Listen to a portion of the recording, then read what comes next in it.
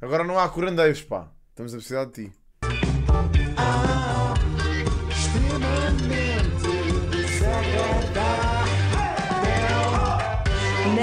Renascença, com o apoio da Logo, faça a simulação do seu seguro em logo.pt. Vamos lá ver se vocês adivinham então de quem é que vamos falar hoje. Uhum. Vais, vais dar pistas? Sim, claro, não vou confiar nos vossos dotes de mentalismo. Que são por ótimos. enquanto. Olha, Sei. os meus são bons. Agora levas para o dia do nome e com, pronto. com um tom estranhamente sério, não foi?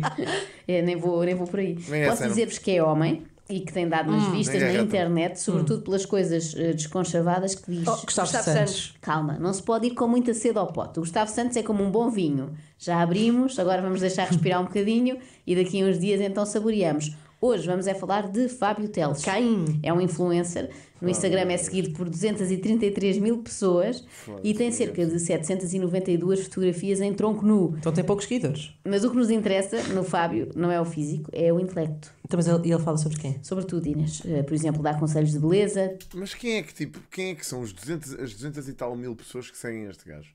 Desculpem. Tipo, dicas sobre face wash. O que é que é face wash? Já Vai, vais ver. ok, Digamos sim, que o face wash está para o Fábio Teles como o self-care estava para a Kate Gouveia. Devia ser uma coisa normal, que se faz todos os dias, porque é uma questão de higiene, mas Sim, no caso sim, deles sim. dá para vídeos de meia hora. Muitas vezes somos injustas aqui, damos imenso tempo de antena a mulheres que perdem tempo com coisas fúteis e esquecemos os homens, que também perdem tempo com temas fúteis e merecem destaque. Força, Fábio. Bom, para finalizar, basicamente vou só lavar os dentes. Normalmente lavo os dentes primeiro, mas aqui estou a lavar no final sem problema Então, muito importante nós temos que ter em conta é o face wash essencial e um creme hidratante a seguir. E a seguir, um creme de olhos. Isto é a minha rotina sempre, de manhã, a seguir ao ginásio e à noite. Muito importante.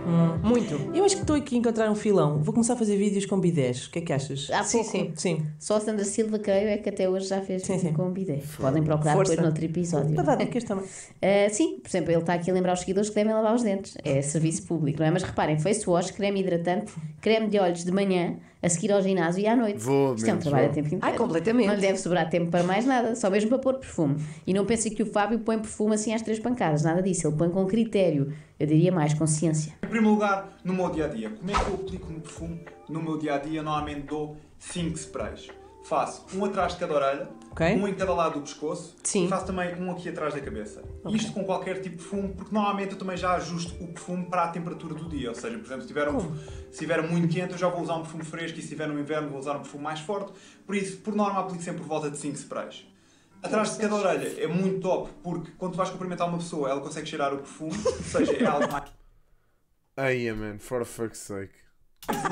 Aqui à Já, nós também fizemos aqui react a este gajo uma vez. fala. Aqui temos os dois pontos que aquecem imenso e vão ajudar a projetar o teu São os perfume. mamilos. E também acabas Não é sempre a nada. apanhar um bocado da tua t-shirt A ou da tua camisa. Não tá- estava a supor, não estava a Ah. supor. Tomaram nota de tudo. Portanto, Tudo. o Fábio Uhum. deve chegar sempre atrasado aos compromissos, não é? Porque reparem, como se não bastasse o face wash, o creme hidratante, o creme de olhos, antes de sair de casa, ainda tem de ajustar o perfume à temperatura do dia Cinco sprays. e distribuí-lo exatamente por pontos-chave de forma a projetar a fragrância. Este homem trata dele próprio como se fosse um airwick, sabem? Sim, sim. Aqueles ambientadores. Quando alguém diz que o Fábio Teles causa bom ambiente, é por causa disto, que ele deixa um odor fresco no ar. Aqui atrás da cabeça é top porque tu deixas um rasto à medida que vais andando e as pessoas passam por ti e conseguem cheirar o teu perfume e deixas aquele rasto. Depois imaginem, quem é que leva a sério uma pessoa que diz top?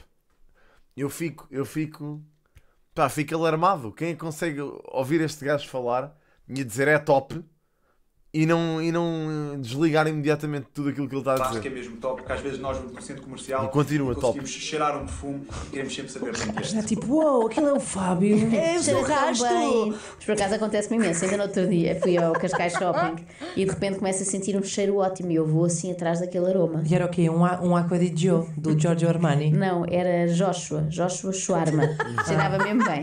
Agora, a Sim, sério, não pensem que isto do perfume é igual todos os dias. Não só varia consoante a temperatura, como ele já disse, como é preciso pensar no tipo de evento que vamos. Legend, obrigado pelo Prime, pá, obrigadíssimo. Temos que mudar esta alerta. Aliás, temos que mudar os alertas todos, na realidade, já chega. Obrigado mesmo, obrigadíssimo. Obrigado, Legend. Thank you. eh, frequentar. Por exemplo, se vamos a um sítio onde podemos encontrar a Roberta Medina, temos de caprichar. Isso. Passando a outra situação, por exemplo, vais para um evento outdoor, vais para um Rock in Rio, vais, por Rock exemplo, para, Para um vais, por exemplo, sair à noite. Aí eu meto por volta de 8 a 10 sprays. Ui. Ai, Por norma, dois atrás de cada orelha, dois sprays em cada lado do pescoço também. Ok. Depois Cabeça? meto um atrás da cabeça e normalmente aplico em cada lado do braço, nas laterais. Porquê? Porque eu, pri- primeiro de tudo, sou uma pessoa um bocado alta, por isso as pessoas não têm, não conseguem sempre cheirar o meu perfume. Pois, pois. Por isso o facto de eu meter aqui nesta zona do braço facilita um bocado as pessoas quando passam por mim conseguirem cheirar o perfume. Claro. Também podem meter aqui nesta zona dos cotovelos, é uma zona top, porque também é uma zona quente que vai ajudar a projetar o teu perfume. Uma zona de Ia pôr top. nos Mas- joelhos porque há cães que se calhar também não conseguem. Não, ia dizer para mim mesmo. Claro, Para pois. eu conseguir cheirar tem que ser assim Não mais. quis ir por aí. Mas podes ir à vontade. O Fábio faz mesmo questão que toda a gente sinta o seu cheiro. Parece aquelas pessoas que andam de rádio ao ombro para ouvir os outros a obrigar, Uhum. Exato. eh, para obrigar os outros a ouvir a música deles. Perfuma mais, é uma espécie de arma química, não é? Atenção, se a Rússia pulverizasse o resto do mundo com aquele Chanel número 5, caíamos todos para o lado. Talvez não falecêssemos, mas ficávamos certamente com forte dor de cabeça. Atenção, não quero que pensem com isto que o Fábio só se preocupa com os tais assuntos supérfluos. Ele também lê. No pouco tempo que lhe sobra depois da merda. do aftershave e do óleo de coco, ele tem tempo Olha, isto. calma nisso, que o óleo de coco é para cozinhar. Ah, cada um usa como quer. Ana. O pepino também é para comer e não é por isso que as pessoas deixam de pôr rodelas nos olhos. Como é que é, malta? Espero que esteja tudo bem com vocês. Hoje vamos falar sobre algumas frases de alguns livros que eu já li, sobre alguns filósofos que eu adoro e também sobre algumas pessoas, algumas frases que... eu não sei porque é que estes, estes gajos in- insistem, bué, em dizer que adoram filósofos, mano. Eu não sei porque é que eles adoram esta merda, mas to- todos eles, já repararam? Estes gajos que são burros das criptos e o caralho, todos eles têm livros de filósofos. Andrew Tate. Eu acho que são mesmo muito especiais. Como podem ver, Ui. o Fábio já leu mais do que isso é isso e maquiador de aquele asco Portanto, vamos lá saber que daquela ensinamentos história quer do- partilhar connosco. Fábio, do carequinha quem é a que primeira a namorada frase. a é dizer- do Jordan Peterson. Grande estima. É quando tens a dizer que era eu estágio é para o namoro a ver vídeos Acho que do esta, esta frase. Via no. Instagram, no Instagram dele há pouco tempo. Jordan Peterson é um filósofo e um psicossocioanalista que eu já sigo há algum tempo, sigo desde 2016 quando ele apareceu. Já li ambos os livros dele. Porquê que ele disse? Eu já sigo há pouco tempo. Jordan Peterson é um filósofo e um psicossocioanalista. Psicossócio. É um psicossócio, o gajo. Ganda psicossócio. que eu já sigo há algum tempo, sigo desde 2016 quando ele apareceu, já li ambos os livros dele. Uma frase mesmo muito forte, porque por várias razões. Primeiro, porque eu comecei agora este canal porque eu senti mesmo que tinha algo a dizer. Eu senti que faltava alguém cá em Portugal que dissesse as verdades sem malícia. Ah, mas ele é um psicossócio, ele disse isso. Um Um psicossocialista. psico- Psicossocioanalista. Também é o meu Exato. preferido dentro, Psicossócio, sim. dentro do campeonato dos é que eu, psicossocioanalistas. eu também gostei muito de, dizer as verdades sem malícia. Cá está, cá está. Isso Portanto, era o Diácono Remédios. É que... Precisamente, precisamente. Mas olha, nós acabámos de descobrir assim Sim. que o Jordan Peterson é o culpado, não é? Porque foi ele que fez com que o Fábio pensasse: vou abrir o tal canal, olha o tal. Mas a realidade, sabem o que é que é, man? Tipo, é estupidez. É que o Jordan Peterson, há muita merda que ele diz que eu até, até concordo com ele. Acho que, acho que ele até é um gajo que, pronto, tem alguma razão em muitas coisas, ok? Só que lá está, man. Eu não sei porquê. Estes, estes gajos, novamente, usam bué as merdas que o Jordan Peterson diz e levam aquilo demasiado à letra. E ah, exato, eles adaptam aquilo que ele diz para caber na narrativa de merda deles, bro. E eu não consigo perceber porque é que eles fazem essa merda, meu. Quer dizer, con- consegui perceber, consigo. Lá está, é, é, da- é mais uma vez de alterar a narrativa para aquilo que nos convém. canal. Eles gajos fazem muito isto. Para dizer as verdades sem malícia.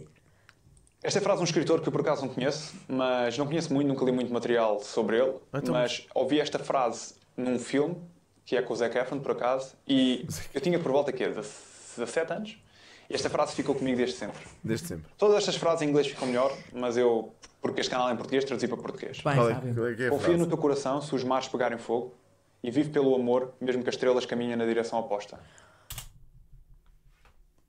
Isto parece uma merda que o Águia do Sol diria. Por acaso é um filme com o Zac Efron. Era aquele que o Zac Efron e o Robert De Niro. Ele faz da avó dele. E, e Cummings. Espera aí, espera aí. E aqui? Podes Diz, ir. diz. Nada profundo, Ah, é? estava só a. Está Estava bem. só achei- a...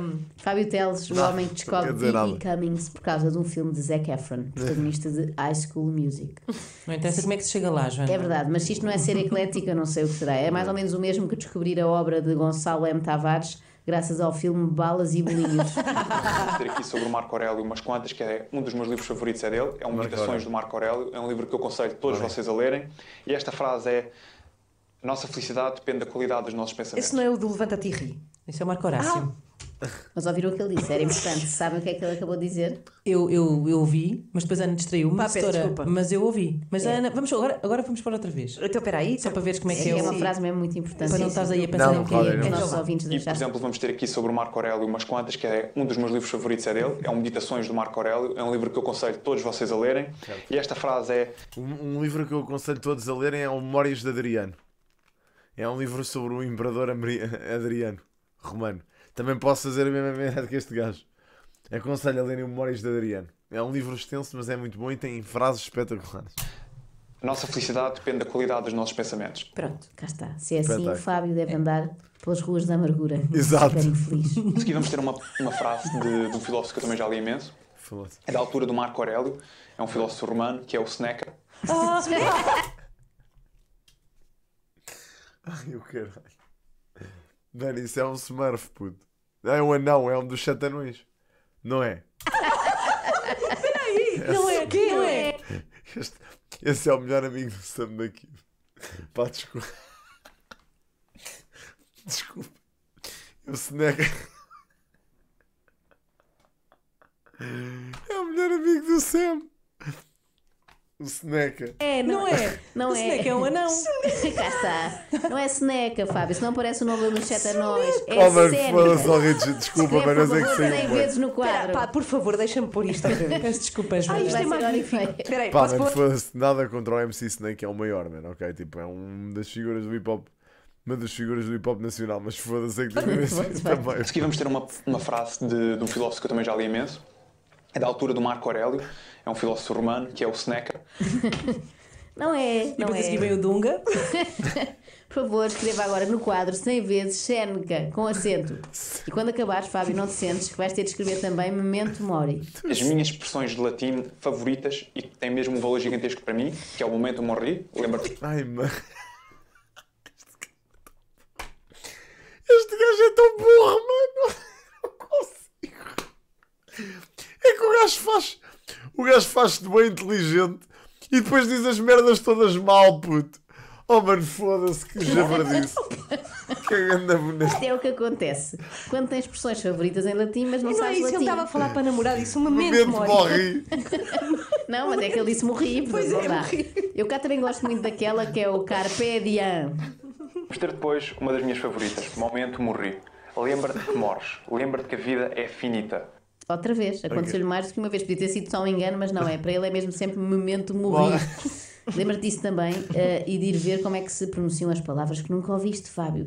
É tão fácil, basta ir a um sítio onde passas imenso tempo, que é o YouTube, não é? Eu sei que estás lá para ensinar, através diem. de tutoriais sobre como pôr água de colónia, mas podes tirar dois minutinhos para aprender. Memento mori, memento mori, basically Memento mori. Memento mori. Pronto, está despachado o serviço público deste mês, já ninguém vai dizer momento morri, a não ser que esteja efetivamente a falecer. No fundo, como aquela personagem do Alentejo Sem Lei, que ao ser alvejada gritava. Mataram!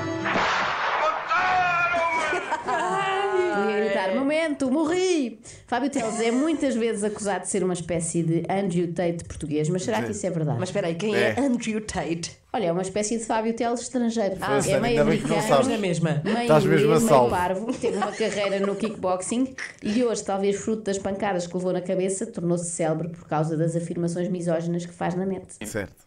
Em último lugar, malta, só porque eu quero irritar aqui algumas pessoas também. Mano, olha, às vezes, pá, ó Xabregas, neste caso, a ignorância é uma benção, mano. Ainda bem que ela não sabe. E no contexto de vida da Ana Galvão, eu deduzo que ela não mas se calhar é uma pessoa que não passa muito tempo na internet. Percebes? Se fores perguntar a uma pessoa da Ana, se calhar da idade da Ana, também muito provavelmente muitas não sabem quem é o Andrew Tate. O Andrew Tate. Pronto, é um bocado isso. As pessoas sabem, da nossa geração sabemos porque andamos na internet. Mas lá está, a Ana Galvão está-se a cagar para isso, ela quer lá saber. Ainda bem, olha, foi... a vida dela deve ser aqui muito uma melhor. frase do Andrew Tate, ele é um filósofo, como é óbvio, mas ele tem aqui uma frase Oh, que até o The Rock publicou um vídeo no Instagram dele a dizer esta frase. Eu acho que esta frase é muito Claro. especial. Eu Yeah. acho que, mesmo Deve sendo uma pessoa muito polarizada, mesmo sendo uma pessoa que disse coisas que eu também não concordo, Claro. eu, ele passa imenso uma boa mensagem em vários sentidos, sobre certas coisas. Não sobre tudo, mas sobre certas coisas passa. Passa. E a frase que ele passou, que o The Rock falou num vídeo dele, a seguir a um treino, foi é a pessoa que vai ao ginásio todos os dias, independentemente de como se sente, vai sempre vencer a pessoa que só vai ao ginásio quando tem vontade de ir ao ginásio. Depende. Andrew Tate. Depende. Vai ser o quê? Se for xadrez, talvez não Andrew cansa, não é? Tate. Adoro como ele diz a seguir. Ele começa a cena toda, dá um ganda build-up a dizer isto foi uma frase que o Andrew Tate disse, que o The Rock publicou no, no Instagram dele. O Andrew Tate disse esta frase, atenção que o Andrew Tate disse esta frase, e depois diz: a pessoa que vai ao ginásio, no final, Andrew Tate. Repete outra vez, que é para dizer que é mesmo dele. Com tanto suspense, eu pensei que vinha aí uma frase mais inspiradora. Yeah, tipo cena coisa bem complexa, não. No pain, no gain. Mas tendo em conta que também é a citação favorita do The Rock, eu se calhar devia ter adivinhado, não é? Certo. Já sabemos que Fábio é eclético, no que toca a grandes autores, vai de Andrew Tate a George Orwell. Tenho aqui este aqui também é uma coluna JBL, acho que isto é um must, acho que teres uma, coluna, uma boa coluna é um must. Depois temos aqui alguns livros de psicologia masculina, umas novels tipo do meu escritor favorito, que é o George Orwell. Nunca pensou, o George Orwell, que Pois o é. triunfo dos porcos viesse George. a ser apreciado por um homem que perde 3 horas diárias em Facebook. Mas a cena é que ele disse, ele disse George Orwell. Ele disse George Orwell. Vestia por perfume. Sendo então o romance distópico 1984 um dos livros favoritos de Fábio. Teles, eu pressuponho, que ele, eu pressuponho que ele gosta imenso de refletir sobre estes temas, regimes totalitários, censura, etc. Não? Claro. Eu não sou uma pessoa política. Yeah, eu não ligo muito a política. Eu já liguei imensa política. Neste momento estou-me a cagar para a esquerda, estou-me a cagar para a direita. Eu não quero saber, malta. E, a e a sério, só estraga a tua vida tu queres ser um obcecado por política. Tu pensas mesmo que faz diferença quem é que está no governo? Fala sério, tu pensas mesmo que faz diferença quem é que está no governo? O Presidente da República recebe tipo limpos de 6 mil euros, acho que é 10 mil brutos, algo do género. Tu tens youtubers a fazer mais que isso por mês. Tu tens banqueiros que recebem bónus de milhões e milhões e milhões e milhões. Lá vem, esta, lá vem esta, esta teoria espetacular que eu adoro sempre, é de ouvir. Que é esta, esta Tu pensas que é mesmo o governo Tens cuida de alguma youtubers que coisa? fazem Tu mais tens que- pessoas muito, muito acima deles, que esses sim controlam realmente o mundo, realmente o país. Claro. Os youtubers, é o Windows. Toda a gente sabe que quem manda neste país é o Windows.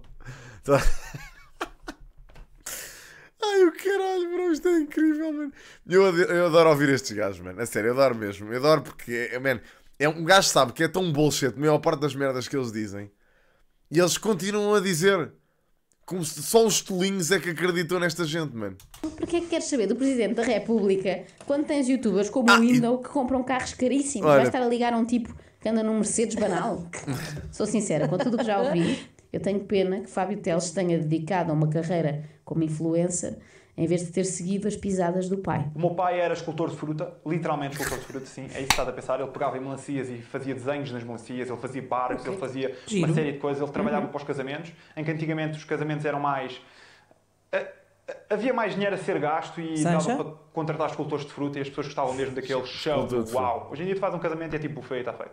Não há um ganso numa Não há melancia. nada, nada. Não, há uma torre Eiffel feita com mamão. Casamentos, percebe, não há. percebe que depois os casamentos não duram, não é? A coisa piorou Claro. muito. Bons velhos tempos, até fiquei agora nostálgica, tempos em que Portugal dava valor à cultura, Dos nomeadamente à escultura de melancias. Agora ninguém liga à fruta e em contrapartida perdemos imenso sim, tempo a olhar para legumes, como este nabo do Fábio Teles. Forte. Boa punchline.